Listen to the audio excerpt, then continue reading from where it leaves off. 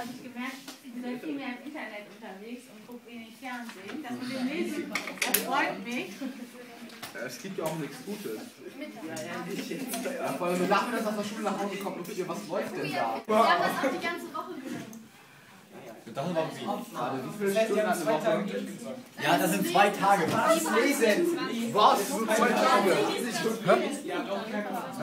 Äh, wir haben uns auf eine Woche bezogen und wir haben von dem einen Zettel, den wir von äh, Frau Wecklich bekommen haben, haben wir uns bezogen mit den äh, sieben Punkten mit, äh, also hier einmal der eine Punkt, äh, Computerspiele, ist bei uns in einer Woche bei allen sechs insgesamt sieben, siebeneinhalb Stunden.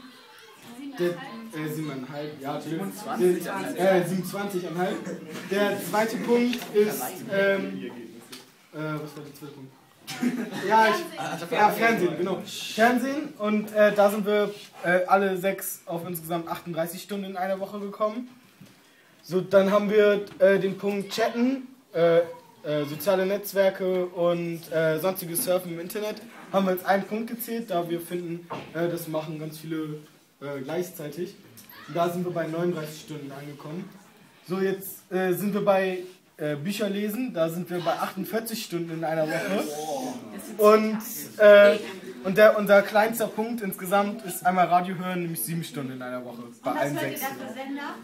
Also ich glaube, äh, Energy war es öfters und Film 4. Und Film 4. Okay, vielen Dank auch an euch.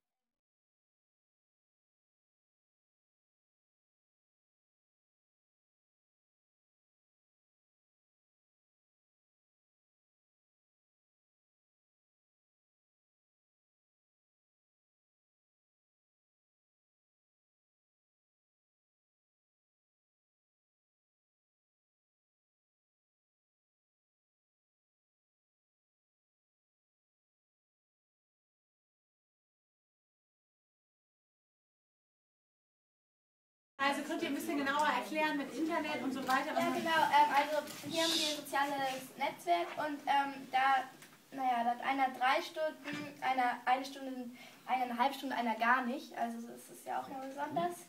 Und ähm, hier fällt halt beim zweiten Mal besonders stark auf, ähm, das ist Computer- und Videospiele, dass eigentlich die meisten, also einer spielt gar nicht und ähm, zwei eine halbe Stunde, aber der vierte fünf Stunden durchschnittlich am Tag.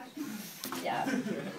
Ähm, der dritte Punkt ist Fernsehen. Da fällt auf, dass es eigentlich, also die Spiel Spielfilmlänge an einem Tag ist ja eigentlich äh, eineinhalb Stunden, aber nur einer guckt sozusagen regelmäßig jeden Tag einen Film und die anderen drei, naja, die gucken eine Stunde Fernsehen am Tag. Das heißt, vielleicht gucken die dann keinen vollen Spielfilm, sondern die äh, zappen eher irgendwie.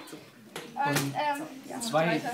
Und zwei lesen ungefähr eine Stunde pro Tag und zwei lesen gar nicht.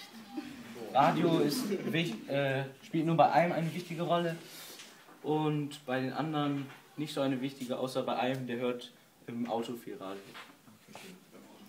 Während der Autofährt. Ja, und äh, naja,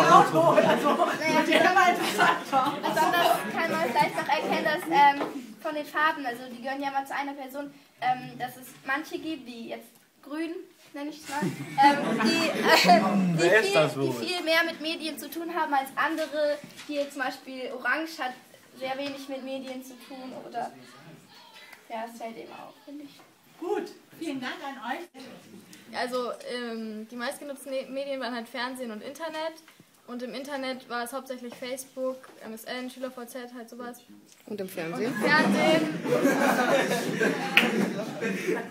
Im Fernsehen war es- waren das hauptsächlich Doku-Soaps und Krimis und Unterhaltungsshows, Castingshows und sowas. Ähm, Maxi, was guckst du denn da so? und was am wenigsten genutzt wurde oder teilweise auch gar nicht, waren äh, Bücher, also Lesen, Videospiele und Radio wurde so gut wie gar nicht. Okay. Ich ihr, was mich verwundert hat? Ich habe gedacht, ich würde viel mehr Fernsehen gucken.